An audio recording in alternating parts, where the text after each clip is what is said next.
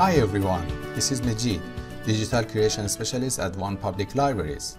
And today I'll show you how to 3D design with coding. What? Yes, we are going to use our lovely and friendly free application Tinkercad again to learn how to continuously design, run review, and edit our code to stack, move, and rotate 3D objects, like fly rocket. Let's dive in. I'm on Tinkercad. This is my dashboard. You're familiar with that if you've seen previous tutorials, uh, for example, how to use uh, 3D designs feature on Tinkercad to design a 3D flower or how to make a very simple circuit board with circuits. Tinkercad it's a web-based uh, software. You don't need to install anything. Just go and make an account on tinkercad.com and it's for free.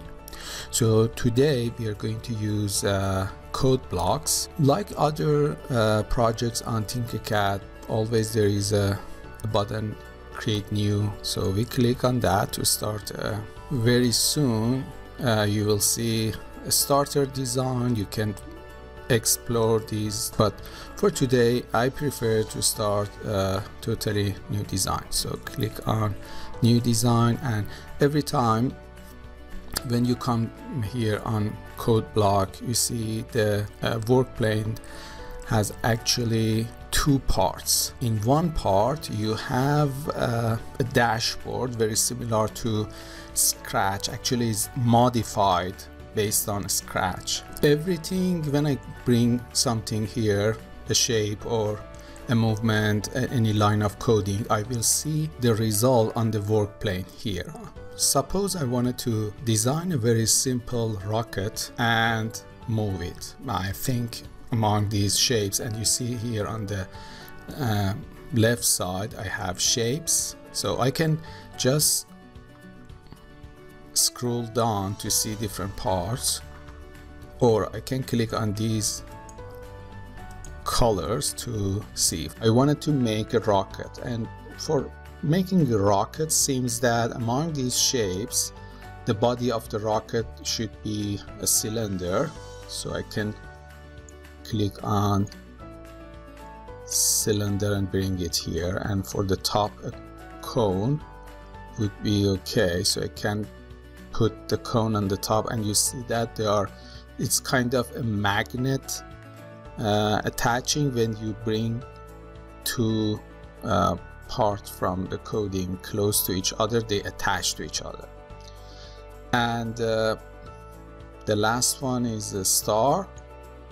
I'm using the star for the bottom part of the rocket. So I have cone I have a cylinder and a star and uh, I can just run it to see how it works and you see that there are different colors. I can change the color make all of them similar or change to the color I like but I prefer this color code. It looks good to me. So I just click on that. And yeah it brought these shapes and stack them on top of each other. Because all of them are in the same location when I look at those and you probably you you remember that how to move these we have a view cube or view box. When you click on each part you can see from different angles or you can use your mouse. It was a little bit fast so I can make the speed slower and see what's happening. Oh yeah. Or I can do that step by step. Now first step I have the cone because I put the cone on the top. And then the next step cylinder comes. Because they are I mean the cone is in the same size and uh, they're stacked in the same location after bringing the cylinder I cannot see the cone. In the last part I see the star.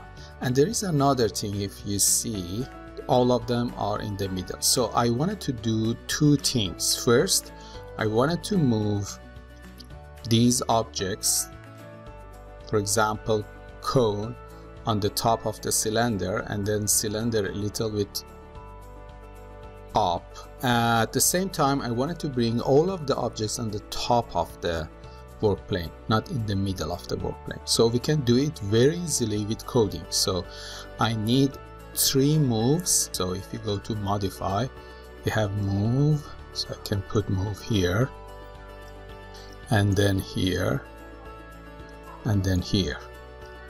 So for example for a star I just know that okay what is the size of the star?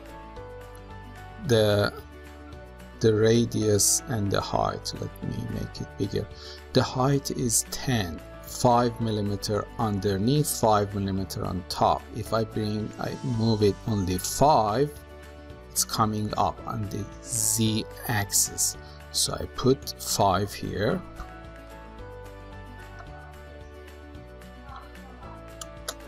And now if we start let's make the speed regular. So now you see the star is in the right location it's on on the top. So I wanted to move the cylinder similar.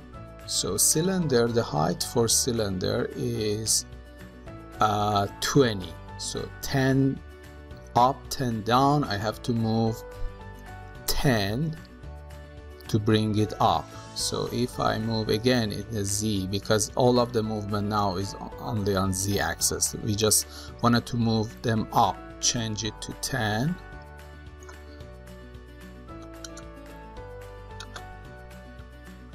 and again. Okay you see that both star and cylinder are in the good location. The only thing left moving this if I move the cylinder only 10 I will level it to the work plane and then I have to move it 20 so in total 30 it should go 30 let's see and try it and see if it works or not.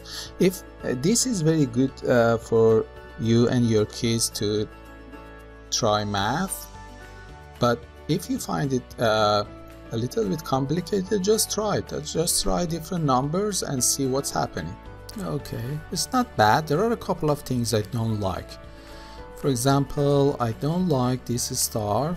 Here is there is a break here. So it seems that five parts for a star is not enough. So we have to change the size. I can change the side here very easily. For example change it to 6 and see what's happening.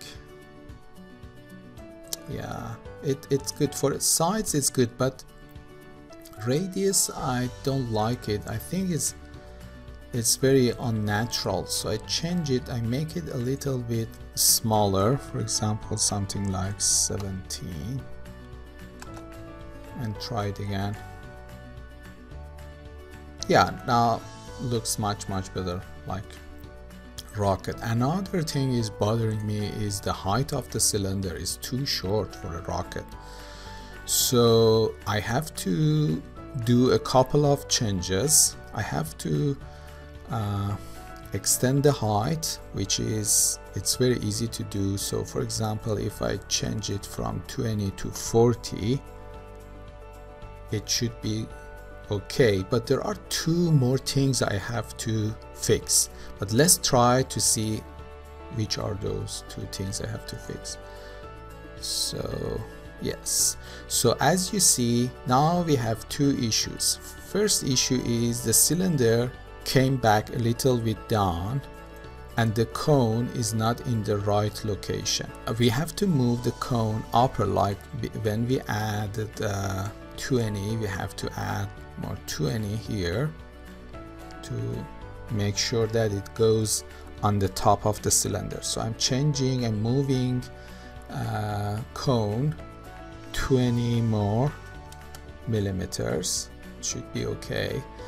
And also I have to move the cylinder too because now it's after changing the height I added 20 millimeters. So again 10 millimeters came back 10 out of that 20 came back down. So I have to add this from 10 to 20 so let's try again. Okay. If you wanted to have it as one object you can group all of these together. And you can make all of them in one color or just keep it as a multicolor to look good on, on the screen but they are grouped. So for example if you wanted to export them and uh, print them with a 3D printer in STL format it's good now. Another thing probably you wanted to move this a little bit up to see how it goes so I'm just clicking on that. Wonderful. Now it works exactly like a rocket yeah? Okay so there is one more thing I wanted to do that and that's uh, share it. Suppose you wanted to share it with a friend